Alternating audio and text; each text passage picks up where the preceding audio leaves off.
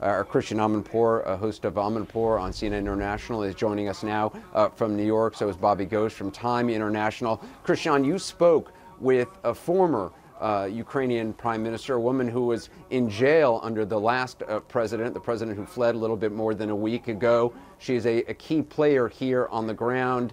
Uh, what did she say in terms of what she hopes to the, the involvement in terms of, of, of the United States and the European Union? She's clearly looking to the West for as much help as possible.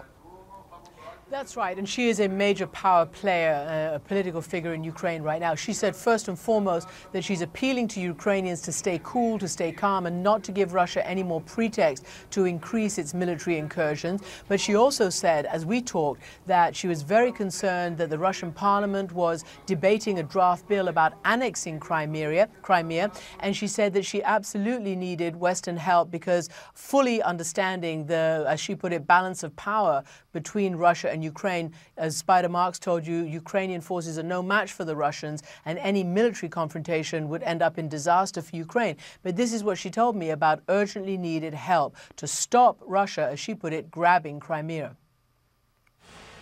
If it is in hard times, Ukraine is left on its own and is given to Russia and uh, when Russia is allowed to take away Crimea, then the world will change. And then not only politics and life in Ukraine. Will change, the politics and life uh, will change practically everywhere in the world. And then we have to accept to uh, state that in 21st century, one country, an aggressor, can uh, violate all the international uh, agreements, take away territories, whomever she likes.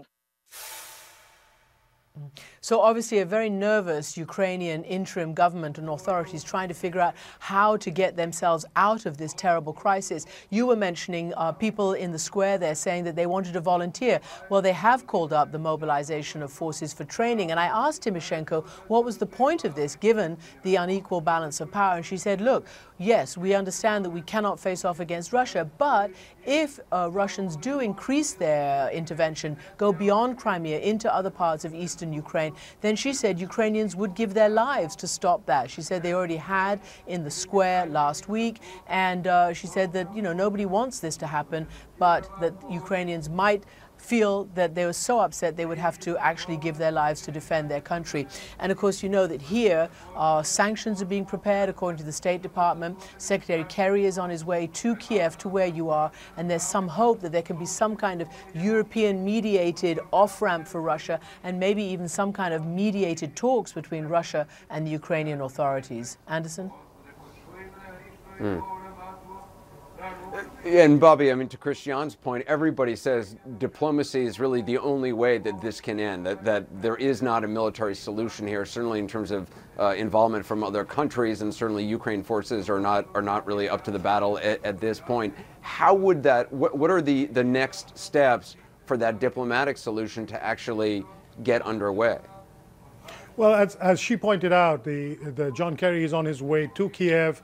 Uh, the president and he have been on, been on the phone talking to European leaders and trying to come up with a with a united front and a united plan. But I suspect that the, the most important conversation that will need to take place is between Yulia Tymoshenko, the woman you just uh, showed a clip there talking to, to Christiane, and Vladimir Putin. Um, we know he has said in the past he likes her. Um, she is from eastern uh, Ukraine herself, the Russian-speaking part. She is a major player in uh, in Ukraine, despite being somewhat discredited for her own role in government. But she and, and Putin will have what might be the most meaningful talks. If the two of them can work out a deal, at least the, the, the, out, the sort of shape of a deal, then that is something for, for Europeans and the US to swoop in on, endorse it, and try and move it forward. Anderson? Uh, Bobby, I appreciate you being on, Christiane, as well. You can obviously, Chris, oh yeah, go ahead, Christiane. No, simply to say, I asked her about what kind of uh, an agreement could be struck. And some people, including your former guest, were saying that perhaps that February 21st agreement, where uh, European leaders had had an agreement with Yanukovych to have elections next at the end of this year and to basically, you know, reduce the power of the presidency. I asked Tymoshenko if that was a goer, because the Russians are saying that too. We want to get back to the so-called February 21st agreement. And she said to me in no uncertain terms, no, niet, no way way at all, she said, because what happened is that Yanukovych, in the interim, she said, has become uh, somebody with blood on his hands. You know, dozens of people were killed, and that would be returning Ukraine to a dictatorship after giving up so many lives to, to, to prevent that from happening. So it's going to be really difficult, but I agree with Bobby that, you know, Tymoshenko does have a relationship with Putin. It dates back a long time. Whether it's still valid or, or we don't know, but there will be some very important discussions that need to be had between Ukrainian and and Russian leadership. Oh, although, Christiane, Ukraine officials here, and as you pointed out, the government here is very shaky. It's a, a, new government and an interim president, a new prime minister here. They have already backtracked on some of the things that they had decided to do just earlier in the week in terms of uh, the, the, use of the Russian language in, in parts of, of, Ukraine. So they've already started to try to make some concessions on, on, on ultimatums they'd already uh, passed.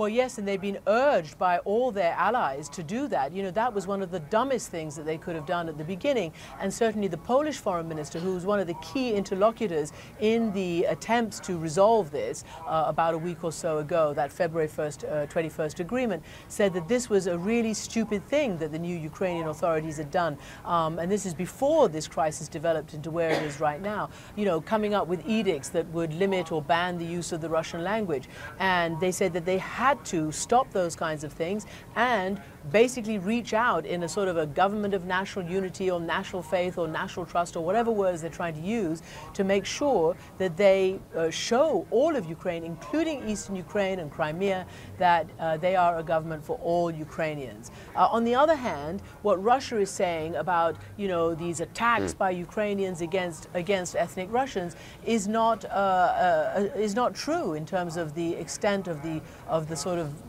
perfidy that right. Russia is painting Ukrainians of having committed. Yeah, there's certainly not the evidence of that on the ground at all in Crimea. Christiane, great to have you on. Bobby as well. When we come back,